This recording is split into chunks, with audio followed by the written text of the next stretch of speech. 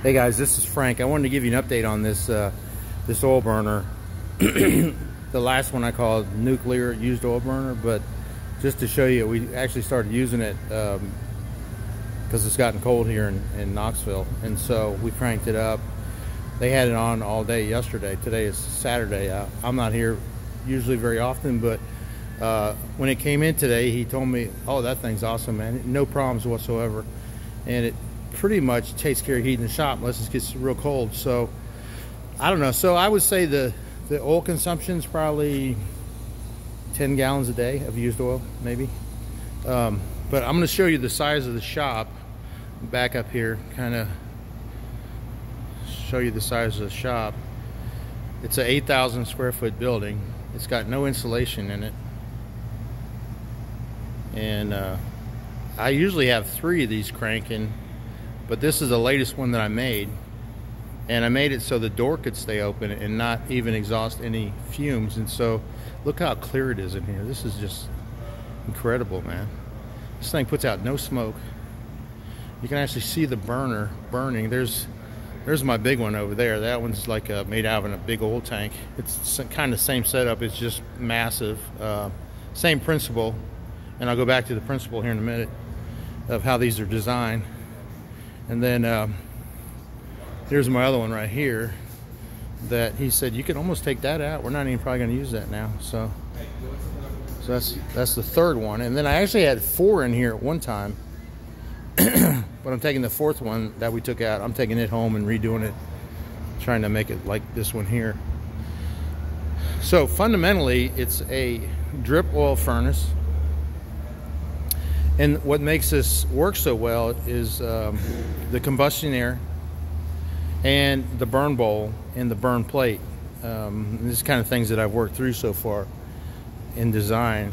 And, and honestly, I got the burn baffle idea from another YouTuber, and I've kind of just turned it into something a little bit better. I don't see any designs out there quite like mine that work as well. Um, so this actually was a hot water heater, hot water heater tank that I cut up, and that where the burn bowl is sitting on top of is actually the pipe that goes through the hot water heater. So I just cut that off, used it as a uh, stool, and then I capped the top, and then I actually, well, I, I capped it. Well, no, I cut it out. I cut it out, took the pipe out because I had to put a six-inch um, exhaust fume flue on there, and so I took out the top pipe, the rest of the pipe, and cut in a six inch uh, exhaust flue. And um, yeah. So, um, and then it goes up to a riser up to um, outside. And I'll show you actually because I, I got a window right here. You can you can look right out the window and see the exhaust pipe let me see if I can get a better shot. So right there's the exhaust pipe. See the black thing in the window? And if you notice, there's no black smoke whatsoever coming out. This thing burns 100% clean. It does uh, produce a little bit of residual um, waste in the burn bowl, and I'll show you that right here, which is right there. So at the end of the day, you just take the burn bowl out, turn it over, slap it on the concrete, and then the debris falls out, and then you're ready to go again. and to light this, usually I just, uh, I, I personally just put a little gasoline in, in, the first part of, you know, the first light. And then I, I put some oil to it and um, I turned the, the fan off temporarily while the oil, the gas is heating up the oil. And in, a matter of like 10 seconds, honestly, you probably turn the, the blast air back on. All right, so here's, here's the principle of this. There's a, uh, uh, a tank for the oil and then there's a drip tube. And you can see kind of how much is dripping in there right now? Um, it drips into this tube right here and goes down into the chamber which goes down into the tank and then to a plate which has got a little bit of a 90 on it at the end of that and then there's a burn plate like about four inches round with uh, like a two inch gap. And that burn plate is actually what's inside the burn bowl. Uh, so you kind of put the burn bowl up around the burn plate, which is ends up being down in the burn bowl about an inch. And that gives you your turbo effect. which gives you you can't see the the flames the way I've designed it, but you can you can kind of go from there and figure out what I'm talking about there. so let's see here. Okay. Then we have combustion air, which in this case is full on, which goes up to distribution pipe, which goes outside, down and over, and then it goes to a combustion fan, which pulls in outside air. Now, the reason why I'm pulling outside air, all this outside air actually goes up the chimney. Uh, and so instead of sucking in air from the building and trying to reheat it, I'm just bringing in outside air and it basically blasts up the, the chimney. And so I'm not reheating air inside the building. So it's pretty efficient as far as that goes. Um, and it's just a, this is actually a fan off.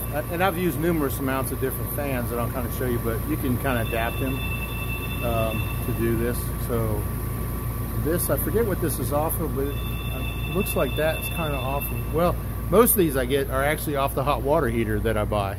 The hot water heater is a forced air heater. And so on top of the hot water heater, there's actually a fan.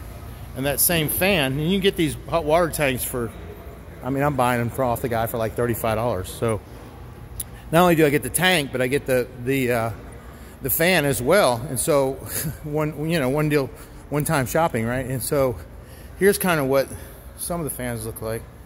And this is actually off a hot water heater, so you can make that work. And this one's actually off of uh, uh, a gas gas uh, HVAC unit.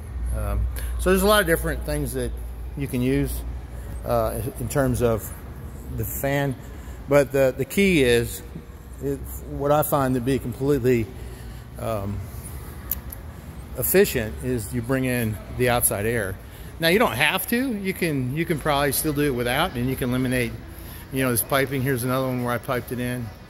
You can eliminate this piping where it comes down and goes into my goes into my my uh, burn tube. So I mean, you can you can eliminate that, but if you want you know complete efficiency, then you would uh, bring in outside air.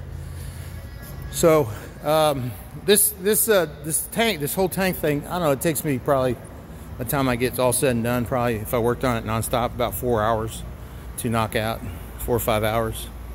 Um, so yeah, if you got any questions, uh, feel free to um, ask, and I'll try to get back to you.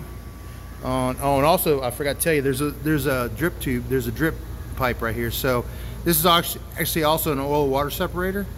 So you can use this to separate. See, the oil's coming out now, so it's already separated. But you can use that actually as your oil water separator. Like if you get water in your oil, obviously the oil goes up and the water comes down. And so you just drain that out, drain your water out, and then you got fresh oil. So you use it kind of as an oil separator, oil water separator as well. So anyways, um, if you like it, um, hit like, and if you want to subscribe, I'm always kind of throwing out different stuff, so you'll get my next listing if you want. All right, well, you guys take care. Hope that helped. Bye now.